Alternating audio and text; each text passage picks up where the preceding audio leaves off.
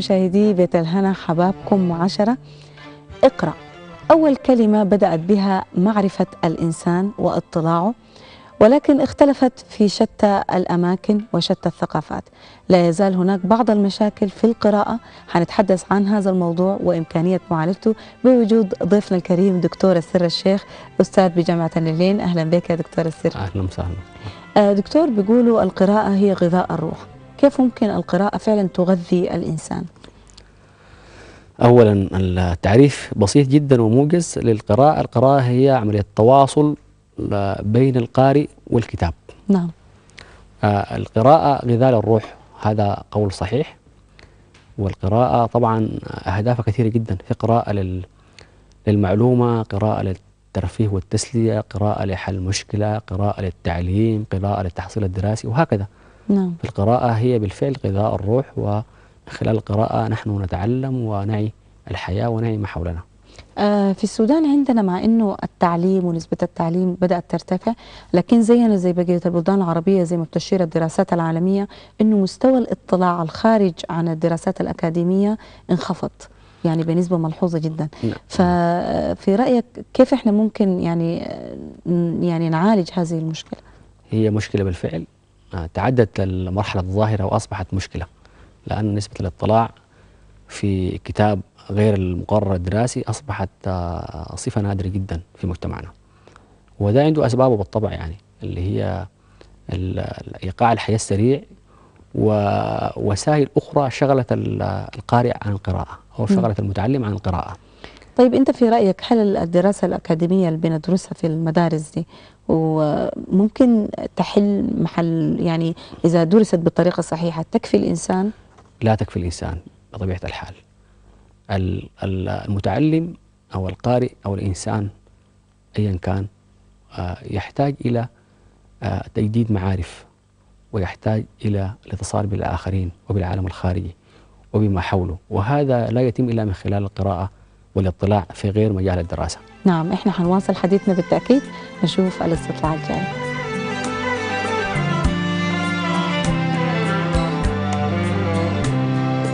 بيت الهنا.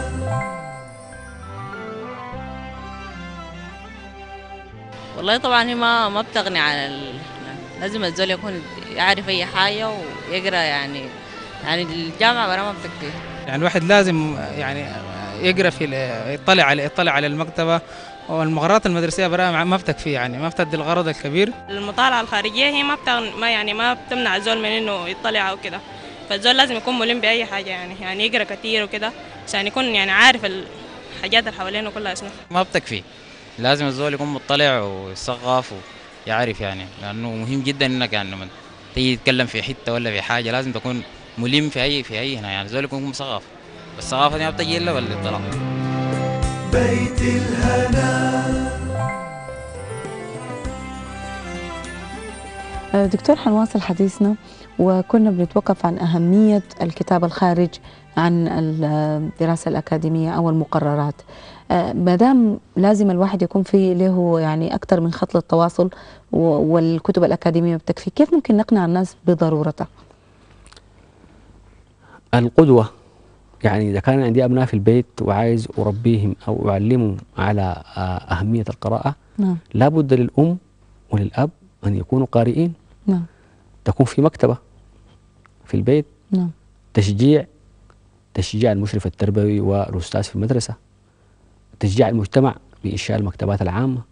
هناك كثير جدا من الوسائل والأدوات التي يمكن أن نكسب بها قارئ جيد في أوقات مختلفة وفي أماكن مختلفة.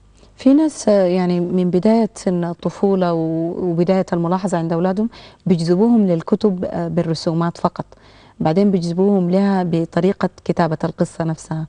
ثم بعد كده الحكاية بتبدو معاهم. أنت شايف أنه هل ده تدرج سليم في تحبيب الأبناء للقراءة؟ يعني التربويون يؤكدون إنه ال ال الإبن أو البنت من سن الثالثة يمكن لهم أن يتعلموا القراءة وأدب القراءة وأهمية القراءة. نعم. كيف؟ من خلال الصور والأشكال صحيح. الآن أصبحت عندنا معينات ووسائل متوفرة جدا الكمبيوتر وعملية التشويق أو الإدهاش بالنسبة للمتعلم نفسه. نعم. ال- حتى بالنسبة للصغار السن في ممكن نحكي لهم حكاوي أو قصص من خلال الكتاب. نستطيع أن نربي الأبناءنا على أهمية القراءة بمختلف الوسائل ومتاح المتاح الكلام ده يعني عندنا الآن وليست هناك صعوبة يعني. طيب بما إنه أنماط الشخصية يعني زي ما بيقولوا أصابع يدك ما واحدة أكيد بيكون في البيت كل زول شخصيته نعم. مختلفة ميوله مختلفة. آه، نمط الكتب ال- اللي بيقرأها ممكن تكون برضو باختلاف آه، هذه آه، الشخصيات؟ أنت ذكرت الميول وال- والاتجاهات. نعم. بحسب الميول والاتجاهات ويستطيع نستطيع أن نميز ال- ال- الأبناء في ما يتناولون من مادة.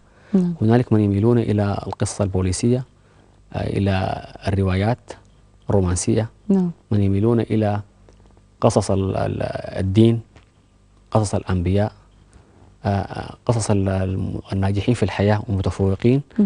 وهنالك من آه، تكون لديهم الرغبة في قراءة الكتب العلمية أو المراجع العلمية.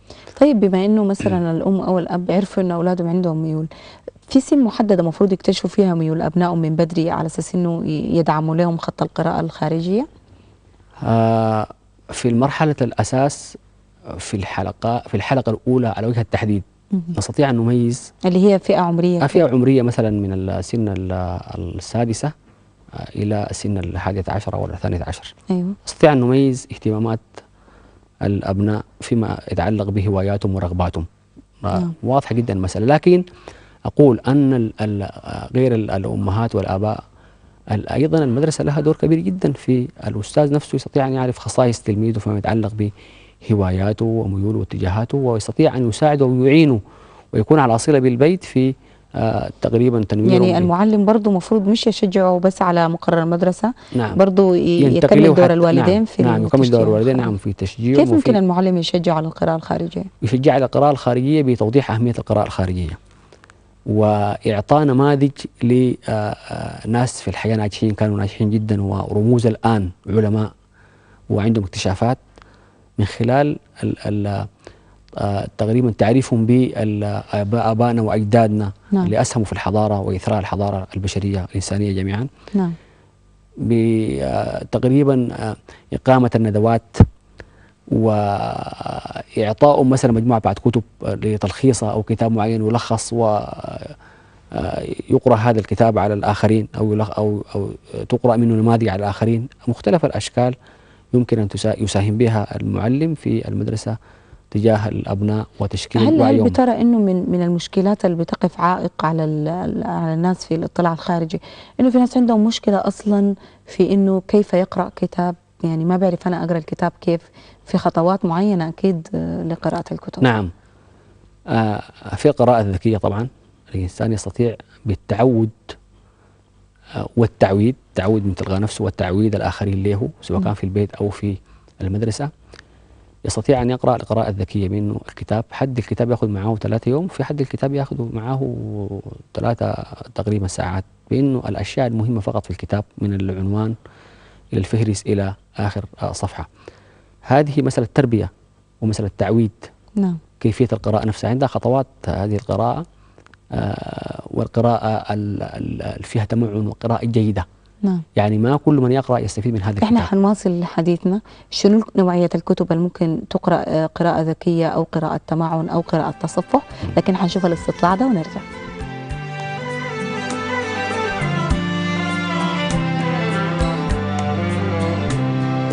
بيت الهنا.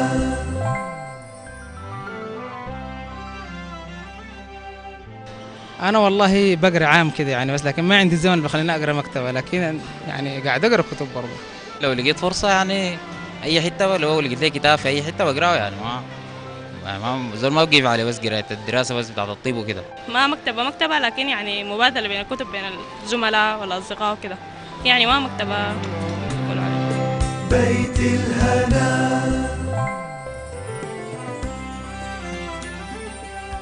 آه، دكتور قبل الاستطلاع كنا بنتحدث عن آه، آم، اختلاف نوعية القراءة باختلاف نوعية الكتاب. يعني أنت قلت أنه في آه، قراءة ذكية قراءة تمعن قراءة سريعة. آه، فدي كيف ممكن تختلف مع مضمون الكتاب اللي بيقرأ؟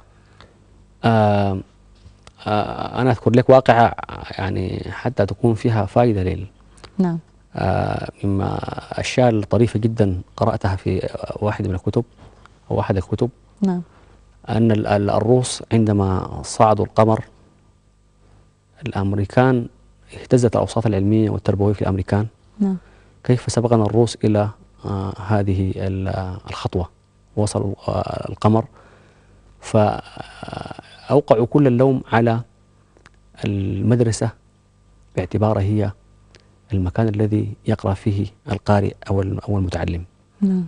فكان شعارهم القراءة الجيدة لأن اللوم جاء من أن المدرسة الأمريكية لم آه تبصر التلميذ بالقراءة الجيدة أو لم توضح له كيفية القراءة الجيدة.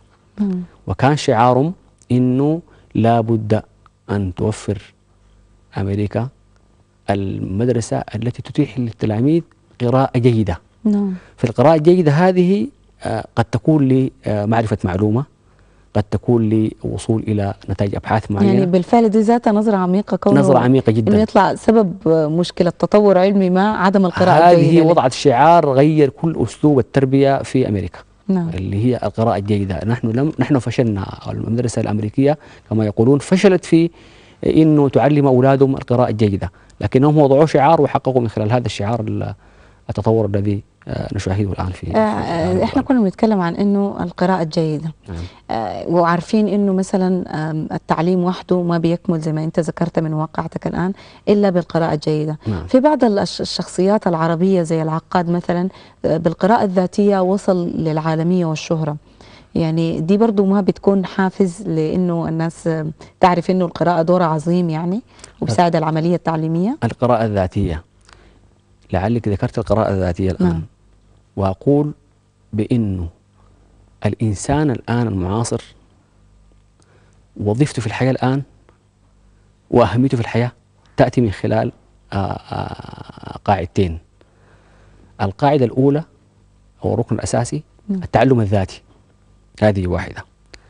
الشيء الآخر التعلم مدى الحياة والتعلم المستمر. العقاد هذا الذي ضربت به كمثل يعني. آه، قرأ وتعلم. تعلما ذاتيا وتعلما ممتدا ومستمرا مدى حياته. نعم. بهذه بهاتين الصفتين نستطيع أن أن- أن نربي أبنائنا أن القراءة للتعلم الذاتي نعم. حتى ينجح هو وقراءة مستمرة. لا تنقطع بانقطاع المنهج الدراسي ولا تنقطع بانتهاء مثلا الجامعة كآخر مرحلة في مراحل تكون التعليم. قائمة بذاتها تكون يعني. قائمة ومستمرة. نعم يعني لا تنتهي ابدا بانتهاء مرحلة تعليمية معينة وإنما تكون قراءة موصولة وممتدة حتى تكون الفائدة بالنسبة للفرد وللمجتمع. آه، دكتور السر الشيخ آه، جدا سعدنا بالحديث معك والحديث آه، يستحق الكثير ولكن حسب الزمن المتاح نشكرك دكتور السر الشيخ أستاذ بجامعة النيلين شكراً. ولجميع الآباء والأمهات القراءة ثم القراءة لأبنائنا لمزيد من المعرفة لمزيد من التنمية للمجتمع ولمزيد من المعلومات لك يا ربة البيت خليكي معنا في فقرة الطبخ. بيت الهنا. بنحييكم مشاهدينا من مطبخ بيت الهنا وطبعا المقبلات هي من الأطباق المهمة في السفرة واليوم حنقدم لكم طبق من المقبلات مع شيف سامي محمد. إزيك يا شيف سامي؟ أهلا ومرحبا بك أستاذ سحر ومرحبا بالسادة المشاهدين ومقبلات شهية اليوم إن شاء الله. حتقدم لنا شنو يا شيف سامي؟ آه اليوم عندنا مقبلات الخيار. نعم.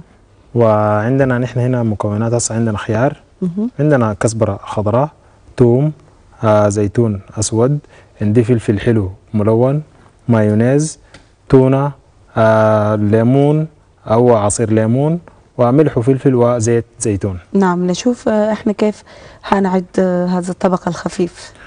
طبعا الليلة طبعنا خفيف جدا جدا نعم. وحتى المقبلات عندنا آه بسيطة وهي آه عبارة عن خيار يعني. يمكن أنا دي حاجة أنا ما بستخدم فيها حتى النار ما بستخدمها فيها. نعم. فأنا زيها زي السلطات يعني. زيها وزي السلطات يعني نعم. حاجة ممكن تكون فاتحات شهية يعني مهم. مثلا زي ما نحن بنسميها فبجي مثلا عندي الخيار. باجي بقطع بالطريقة دي في الأحجام دي كده متوسطة أيوه نعم تكون حاجة متوسطة بالط- بالطريقة دي في الأحجام ده يعني في كثير من الناس بيقول لك الخيار أو العجور أو التبش ما بيأكلوها بشكلها ال- العادي أو ما بيأكلوها نهائيا يعني. إلا إذا مثلا أضيف عليها شطة ودكو ليمون أو مع سلطة مقطع صغير جدا. فاليوم حنوريهم طريقة جديدة يتناولوا بها آه هذا النوع من الخضار المليء بالغذاء والفيتامين. هو نعم يعني في ناس ما, ما بتتناول وكده طبعا إلا يكون نعم. متبل. فلكن هو في ناس فائدته بيحبوه مخللات كمان. يعني هو نعم برضه نعم. بتخلل وبكون فيه مخللات جميلة جدا جدا. نعم. لكن هو في يعني الميزة بتاعته في إنه أنا إذا كان عندي مثلا نوع زي ده من من الخيار وأنا آكله يكون فريش بيكون آه، جميل جدا يعني. وأنا ممكن كده بحصل على كل القيمة الغذائية الموجودة فيه من غير ما أخش في تفاعلات مع أي إضافات ثانية نعم. ممكن أنا أتناول الحتة دي. فأنا عندي لما آه، قطعت الخيار بتاع الطريقة دي بقوم بفرغ الخيار. يعني حتى لو أنا ما عندي المقطع ده ممكن أستخدم السكينة العادية سكين صغيرة. نعم. أفرغ بقى الخيار. بالطريقة دي كده. والنوع ده من المقاطع عنده استخدامات كثيرة لأنه بيطلع طبعا لب الخضار أو الفاكهة في شكل كروي. فيعني بيستخدموه مرات في سلطة الفواكه إنها تدي أشكال. أيوه نعم بالطريقة دي كده. نعم. أنا بكون يعني بدل ما بعدين يعني هو أصلا طبعا سريع جدا يعني أنا لما استخدم السكين ما بكون لي بنفس السرعة دي نعم. بيكون أقل من كده. فهنا أنا لما استخدم المقطع ده فهو سريع وممكن أفرغ به وأنا ما محتاج إني أفرغ كل ال- الخيار القطع اللي قطعتها أنا. لكن أعمل حاجة بعدين عشان أنا لما أجي أضع عليها الحشوة بتاعتي اللي عايز أخدها تكون ثابتة موج- وموجودة بكمية. معقولة مع الخيار؟ يعني في طبق اليوم إحنا مدين مساحة مقدرة ومحترمة للخيار. آه حنعمله زي آه المحاشي. وحنجوفه وحنحشيه بخلطات. أيوه نعم محاشي طبعا لكن محاشي بتكون مفتوحة يعني نعم. مثلا. هي ما بتكون محاشي مقفولة. نعم. فانا مثلا زي الخيار ممكن إحنا نستخدمه فعلا زي زي المحشي زي الكوسة مثلا. ممكن يتعمل به محشي. نعم ممكن أنا اعمله كو- آه، محشي بنفس مهم. الطريقة اللي بعمل بيها الكوسة نعم. بنفس العنايه بس هنا بيختلف في الدرجة في الزمن بتاع النضج بتاعه. بيستوي بي- سريع بيستوي سريع جدا. فأنا آه، يعني أحرص على إنه لما أجي أعمله محشي أعمل محشي الحشوة بتاعتي تكون مستوى مستوية. فأنا لما أحطهم في النار فياخذ لي بس الطعم بتاع الحشوة الموجودة. نعم. وبكون استوى الخيار بتاعه وبطلعه من النار وممكن أكله ساخن أو ممكن أبرده وأخليه وأكله بارد يعني نعم. فهو كلها بتكون بنلاحظ الخيار لما الطريقة. يكون عاملينه مخلل دائما بيختاروا منه أصابع صغيرة. هل ده في اختلاف مثلا بين الأحجام الكبيرة والصغيرة في الطعم هي ال- ال- الاختلاف بيكون في مثلا السرعة بتاعت إنه أنا داير التخليل يعني. أنا مثلا مرات بخلله على أساس إنه أنا عايزه في وقت وجيز جدا لما نستخدم ال- الخيار الصغير بيكون أسرع لي وأسهل لي إني أنا أخلله من الخيار ال- القطعة الكبيرة. أو القطعه الكبيرة ده بتكون فيها كمية من البذور فالخيار دائما الصغير بيكون أجمل إني اخده آه، من غير لأنه ما فيه بذور كثيرة. نعم. ممكن أجمل أنا أعمله مخلل وبعدين أجي آه، أتناوله يعني. إحنا حنخليك تواصل في آه، تجهيز الخلطة يا شيف سامي. ونذكر مشاهدينا بنصائح وفوائد طبق اليوم. بيت الهنا.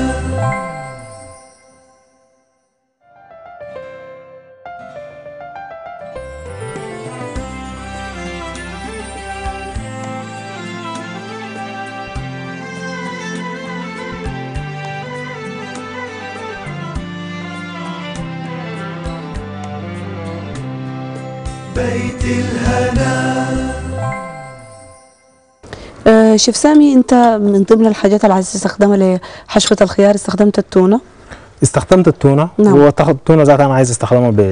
بت... على حت- حتتين. على أساس إنه مثلا جزء منها حتبله تتبيلة عادية بديه شوية من زيت الزيتون. وأنا ممكن ده عندي هنا عصير ليمون. نعم. حاجة بسيطة جدا من عصير الليمون برضو. بعد ذاك بديها ملح وفلفل.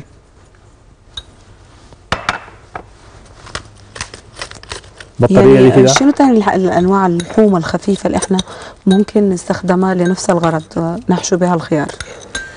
يعني من من من انواع اللحوم طبعا آه، حتى أنا ممكن نستخدم ممكن استخدم اللحمة العادية نعم. آه، وأعمل بها الخيار لكن اللحمة العادية طبعا بنفس الطريقة. وهذا أنا عندي بالنسبة للتونة هي الدجاج لو لحمته مسلوقة. الد- الدجاج المسلوق برضو ممكن أنا أستخدمه. فدي كلها حاجات أنا ممكن أستخدمها. نعم. أنا عندي هنا تاني ممكن أضيف للجزء الثاني بتاعي. اضيف مايونيز. في ناس بتخوف من المايونيز لأنه في مكوناته البيض إنه يتعامل مع التونة. فهي ما في حاجة بتخوف نعم. من في المايونيز لأنه طبعا هو حتى الناس لو عينت بتلقى نفسها هو بطريقة ما هو تناول المايونيز. نعم. آه فهي ما فيها حاجة. لأنه هو عادة يعني ممكن يتناول البيض لوحده ممكن يتناول الزيت لوحده. نعم. فهي ما ما, ما في حاجة. وفي ناس ممكن تكون معدتهم أصلا حساسة لأنواع معينة من الأطعمة فده اللي يتجنبوها ويشوفوا بدائل تانية يشوفوا الفراخ زي ما ذكرنا أو نوع تاني من اللحوم. أيوه نعم. نعم. فدي كلها حاجات ممكن آه، الناس تاخذ بدائل بدلها يعني. أنا لو كنت خايف من حاجة ممكن اخذ بدل بديل. مهم. هنا عندي هنا الفلفل ال- الحلو. أنت ملون. بالوانه وعامل تشكيلة حلوة. يعني الواحد لو شاف الطبق من بعيد بيفتكره حاجة مسكرة أو فواكه مسكرة يا شيف سامي. هو فعلا عشان كده أنا اخترت إنه الألوان بتاعت الفلفل بتاعتها تكون مختلفة على أساس. إنه تديني آه، اللون بيديني نوع من آه، الديكور برضو نعم. في ال- ال- الطبق بتاعي. فبقوم بضيف لها طبعا زي زيتون وملح وفلفل إذا عايز أديها مثلا آه، من خ- ال- عصير عصير الليمون. الليمون شوية. نعم. ممكن نعمل لها عصير ليمون شوية. بالطريقة دي. وهنا أنا طبعا ال- ال- الجزء الثاني من التونة قمت عملت له مايونيز وخطيته. نعم. فإذا عايز أضيف آه، ملح وهو أصلا التونة فيها ملح والمايونيز فيه ملح نعم. إذا عايز أضيف ممكن اضيف واذا ما عايز أضيف ما ما ما, ما في داعي إنه أنا اضيفها نعم. فبيجي عندي تاني هنا زيتون الأسود. مثلا بالطريقة دي. الزيتون الأسود أنا ما عشان ما احشيه ب- عشان أقدر احشيه ممكن حتى يكون نوع تاني من الزيتون يعني الخيارات مفتوحة زي ما أنت ذكرتها. فهي ممكن خيارات يكون مفتوحة. في جزر مبشور. أيوه نعم. فهي هي أنا بس يعني عايز أوري الناس إنه إحنا ممكن يعني حتى- من الخضر والفاكهة. أيوه ما ما, ما يتغيدوا بالحاجة اللي أنا بعمل فيها. يعني أنا نعم. عملت التونة لازم هم يعملوا التونة. فأنا ممكن أفكر في إنه أنا ما دام أصلا الاصل عندي إنه هي الخيار تكون هي مقبلة فأنا ممكن أحشيها أي حاجة تانية بارة إنها هي مناسبة لإنه الواحد يتناولها. فبقوم وأبغى أستعملها من غير ما إنه أرجع ملاحظه كل المكونات أنت ركزت إنك تقطعها على قطع صغيرة يا شيف سامي. وذلك طبعا لأنه مساحه الخيار نفسه بتسمح بحاجات كبيرة. هي فعلا لأنه مساحه الخيار عندي أنا صغيرة جدا. فأنا حاولت بقدر الإمكان تكون المكونات هل كان الحشائش ممكن إحنا نقشر الخيار قبل ما نشيل اللب بتاعه ولا ده كان حيقنا هو طبعا الخيار نحن ما, ما عندنا مشكلة مع مع القشرة بتاعته. لأنه أنا ممكن أتناوله كده من غير ما أقشره. نعم. بس ده بيتوقف على إنه أنا لازم آه آه لازم الخيار بتاعي أغسله كويس جيد جدا بعد نعم. ذاك أتناوله. لكن إذا قشرناه ف- ما مشكلة تقشير خفيف. إذا حبينا نعمل تشكيلة يعني. إذا قشرناه نعم. ما مشكلة وما بصير معانا بحاجة كثيرة. أنا عندي المعلقة دي فيها مايونيز أنا ممكن أستخدمها مع التونه هنا. ودايما الناس بيشتكوا من إنه أبنائهم ما بيحبوا الخضروات بالذات الأطفال. فإذا تقدمت بأشكال جميلة زي دي حيحبوها جدا ويتناولوها. طيب بالطريقة دي مثلا أنا أقوم أحشي ال- الخيار بتاعي. يعني حتى لو لاحظت هنا الحشوة- تشكيلة جميلة يعني. أدت التشكيله خليك تنوع في حشو الخيار بالخلطات اللي أنت عملتها. ونذكركم مشاهدينا بمقادير طبق اليوم. بيت الهنا.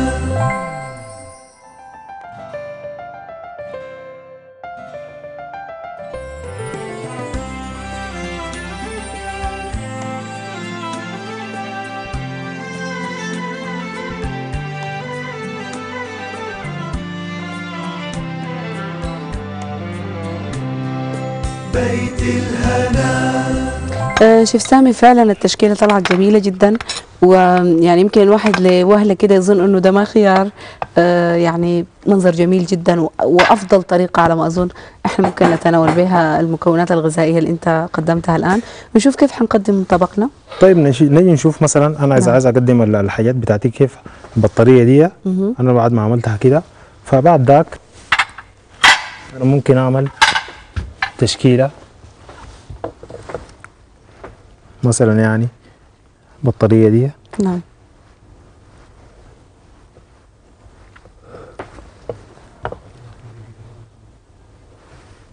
يعني فعلا تشكيلة جميلة جدا. وزي ما أنت تفضلت الأطباق ممكن برضو يكون شكلها مساعد على إنه إحنا نقدم تشكيلة جميلة منها. آه، إذا طبق صغير إذا طبق كبير كلها بتساعدنا على إنه إحنا نعرض ال- المادة الغذائية الجميلة دي. والناس تفكر برضو ممكن الطماطم ممكن آه، الجزر كلها ممكن نتعامل معها بنفس الطريقة. فهي بترجع طبعا لأنه أنا كيف عايز أتعامل نعم. مع الحاجة بتاعتي وكيف إنه عايز أنا أقدمها. نعم. فبالطريقه دي بعدين ممكن على الطبق الجميل ده. عايز تضيف عليه البقدونس نعم. نضيف عليه الب- البقدو ده عندي هنا طبعا الكزبرة الخضراء اللي إحنا قلنا. يعني أنا ممكن أعمل منها كزبرة بالطريقة خضراء. دي ف أو ممكن حتى إذا ما في ممكن نستخدم بقدونس شمار أخضر أي نوع من المنكهات يعني. أي نوع من الحاجة الحاجة اللي أنا موجودة عندي أنا ممكن نعم. أعملها. فبالطريقه دي أجي. طبقنا الآن اكتمل وأنت مجهز صوص كمان شيخ هنا. صوص على أساس نعم. إنه آه ممكن أنا اتناوله به نعم. يعني وبالطريقه دي أنا ممكن أحط الطبق بتاعي. يديك العافية على الطبق فعلا رائع وجميل يا شيخ سامي. تسلم يدك. الله يسلمك أستاذ ومشاهدينا تابعتوا طبقنا اليوم. إن شاء الله يكون عجبكم. طبق سهل وخفيف ومغذي. زي ما دايما من إحنا بنعدكم بأطباق مميزة. هناءات الشروق تي في. دائما يراسلون عليه. مع ألف سلامة.